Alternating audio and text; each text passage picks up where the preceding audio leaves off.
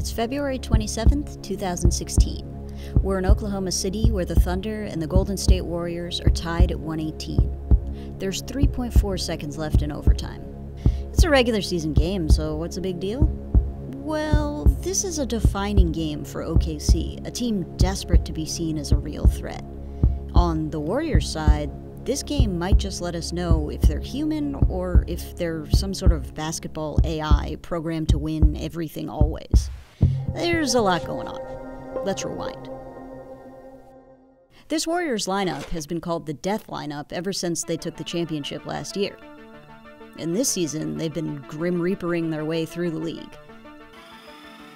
They're currently 52 and 5. That's right, it's late February and they've only lost 5 games. That puts them on pace to beat the 96 Bulls record for most wins in a season. They already busted the 94 Rockets record best start, a feat the Warriors accomplished without their head coach. For the first half of the season, Steve Kerr was sidelined with health problems stemming from back surgery. Assistant Luke Walton had to step in and experience unprecedented success. Walton stayed humble, crediting the system Kerr had put in place last year. That system was a fast paced, small ball game with an emphasis on cutting and ball movement, spacing the floor while creating good looks for the Splash Brothers or whoever happened to be on at the time. The Warriors have a deep bench, which Kerr relied on. How valuable is a deep bench? To answer that question, look no further than the Warriors' first matchup with OKC this season, in the beginning of February. The Thunder Stars were excellent. KD had 40 points, but it wasn't enough because the Warrior bench outscored the Thunder bench 42 to 17 on their way to a win. To OKC's credit, they did make a game of it.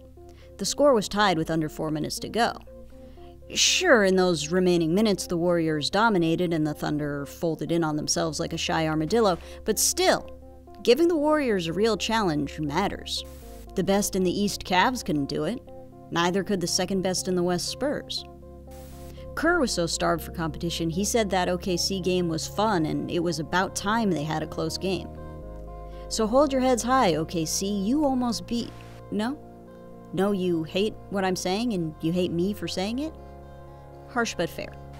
Of that first matchup, Russell Westbrook said that before the game he felt they could beat the Warriors, and after the game he felt they could beat the Warriors. Tonight's rematch is their chance to prove it. This year is supposed to be big for OKC. That's the whole reason they got this new coach over here. Billy Donovan replaced Scott Brooks this summer. Brooks had taken the Thunder to the finals in 2012, but they haven't been back, and last year, with Kevin Durant injured, they didn't even make the playoffs. Donovan was hired to get the Thunder back into champion contention and fast. Why the urgency? Well, winning is fun. Who'd want to delay that? And, perhaps more importantly, KD is about to be a free agent. He hasn't said he's going to leave, and he seems to have a strong bond with his teammates. But if he can't win a ring with OKC, he might want to go somewhere he can win one. Like a super team. Interestingly enough, the Thunder might have had a super team themselves if they hadn't traded away James Harden in 2012. But they did, and we have to move on.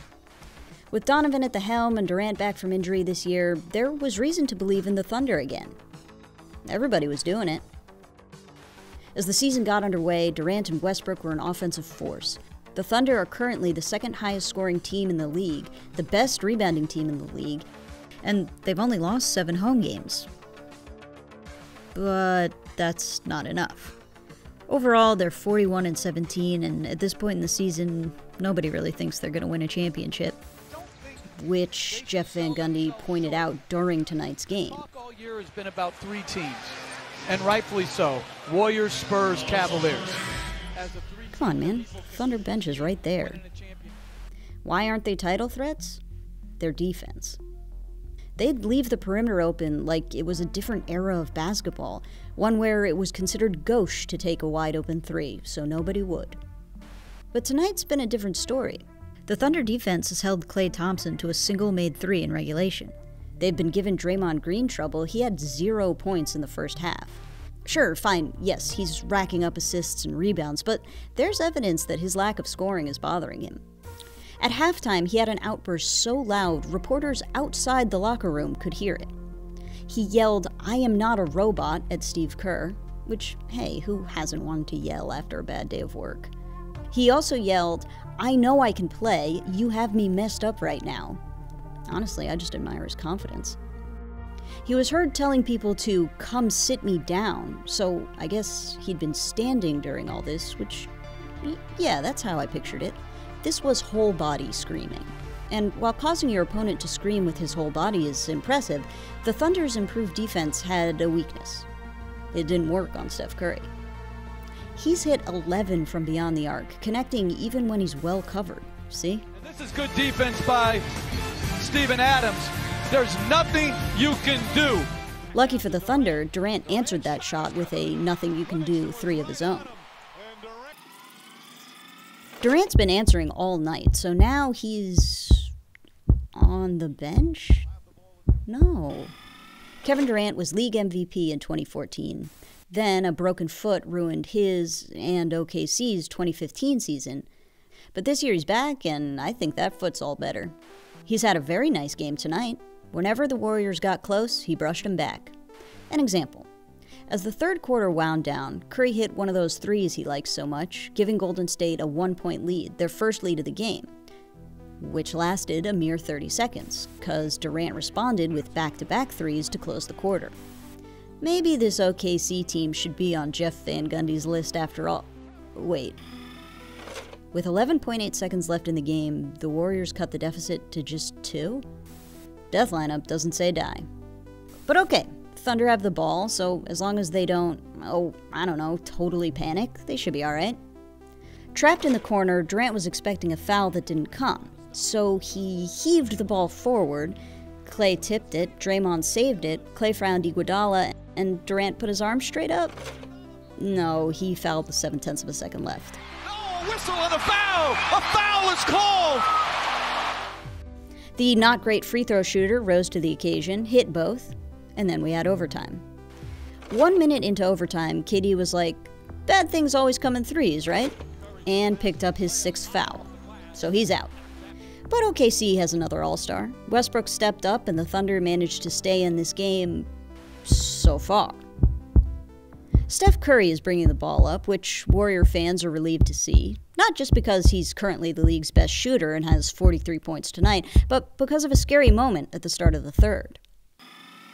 He left the court after he rolled his ankle and Westbrook accidentally landed on it.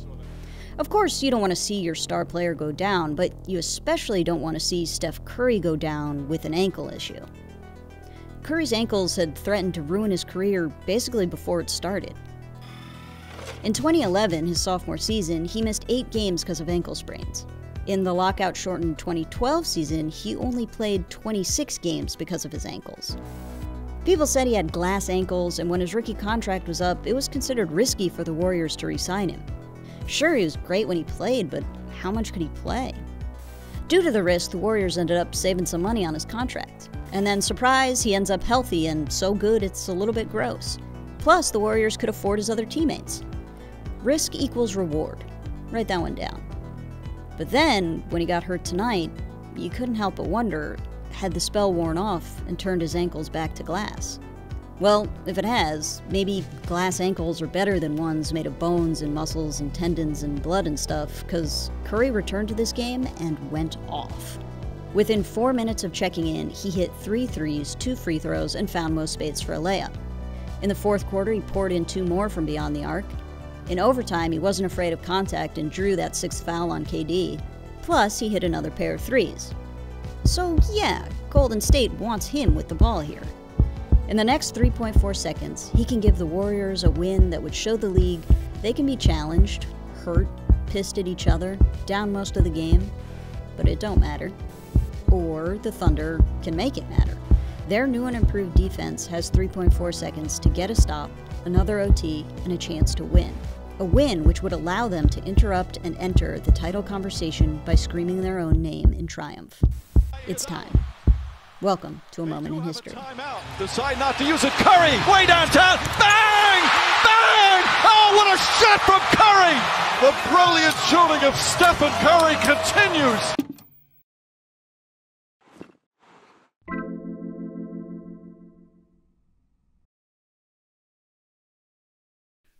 Thanks for watching. If you like this video, these other ones might be right down your alley. People tell me the expression is up your alley, and I refuse to believe them. Don't forget to subscribe, and as always, for Secret Base, I'm Clara Morris. Good night and good game.